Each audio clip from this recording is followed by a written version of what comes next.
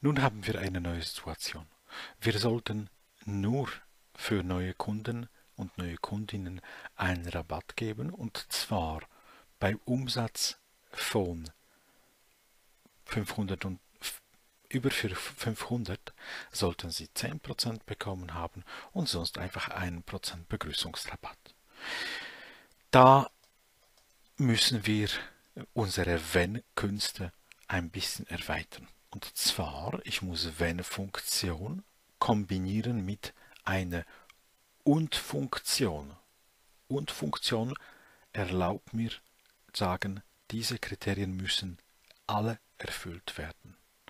Also ich sage, wenn und hier beim neuen Kunden Bezeichnung steht Gänsefüßchen ja und gleichzeitig Umsatz ist größer als 500 Franken, Klammern zu von und, dann gibt es sagenhaft 10% Rabatt. Ist das nicht erfüllt, dann gibt es einfach Trostpreis 1%.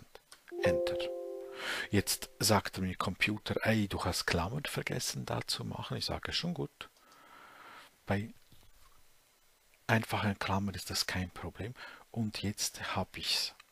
Ich sage, äh, Compi sagt mir, du bekommst 1% Rabatt, weil du zwar Neukunde bist, aber zu wenig Umsatz gemacht hast. Ich sage, ja, Moment mal, ich kaufe noch für, für äh, 400 Franken plus äh, oder fast 400 Franken und habe ich 520 Umsatz gemacht, ich bin neuen Kunde, gibt es 10% Rabatt.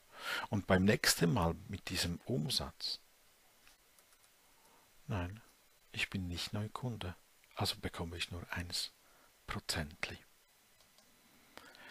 Hm. Ich mache das Ganze nochmals.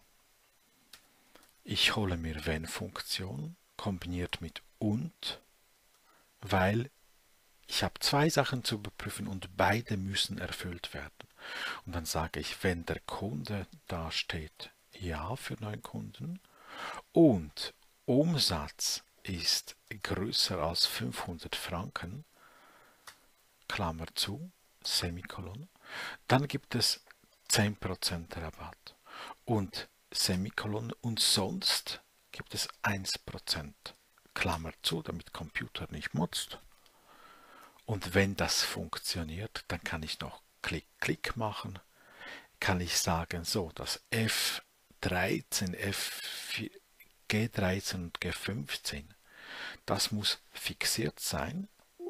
Zack, das funktioniert nicht, weil ich hier Klammern zwischendurch habe. Okay, anklicken. Schwupps. Und die beiden. Schwupps. Und jetzt kann ich das nach unten schicken. Und jetzt zum Beispiel Neukunde, wenn der 600 Franken macht, hat er 10%.